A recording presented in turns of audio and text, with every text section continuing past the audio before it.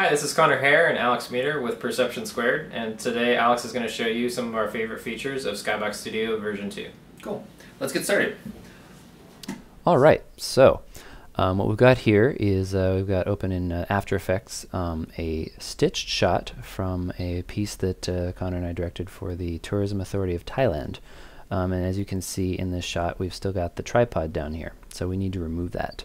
Um, we have a previous method that we used to use with uh, Skybox Studio 1 that involved using cube maps and going in and out of Photoshop, but there's a much easier, simpler way to do that now using the Skybox Composer, and we wanted to show you a little bit more about that. So the first thing we need to do is go to Window, and then open the Skybox Composer panel. It's going to come up in this panel over here by default.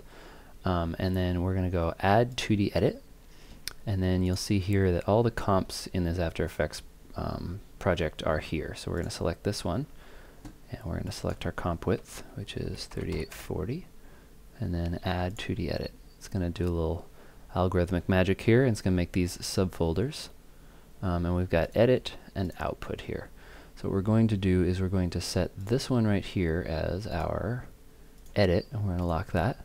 And we're going to set this one as our output, and we're going to lock that. So this is our equirectangular output, and this is the um, this is the dewarped Basically, this is the same as if we were looking at it in like a YouTube or a Facebook viewer.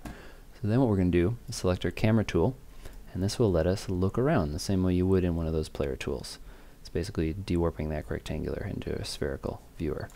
So now we're going to look down at this tripod here, um, lovely sandbag on it, and we can, without even going to a cube map, we can now go in and use the clone brush uh, to get rid of this. So what I'm going to do is right click here, and then go open layer, that's going to open this third layer over here. Let's actually move this over here. There we go.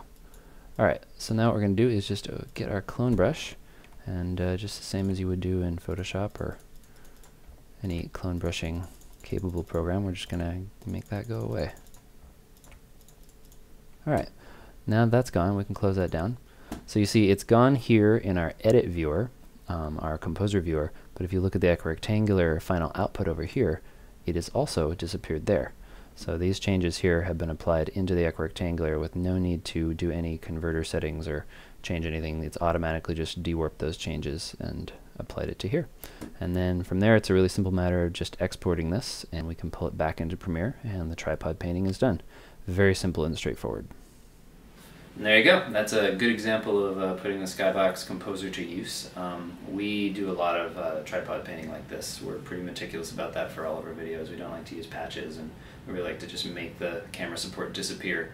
And that uh, used to take a lot of time um, going through converters and into um, CubeMap and having to run that through Photoshop. This workflow will allow us to do that a lot faster with a lot less manual labor, so we're pretty excited about that. Yeah, it'd save us probably 30 to 40 shots on Thailand alone and a lot of time. Um, we're also really excited about the 180 degree support that Mettle is introducing with this uh, update to Skybox. Um, we're big fans of 180 degree content for VR, and uh, we think that these additions to Skybox are really going to uh, motivate uh, content creators to uh, shoot in that format because the tools will be available to them. Well, thanks for watching. Thanks.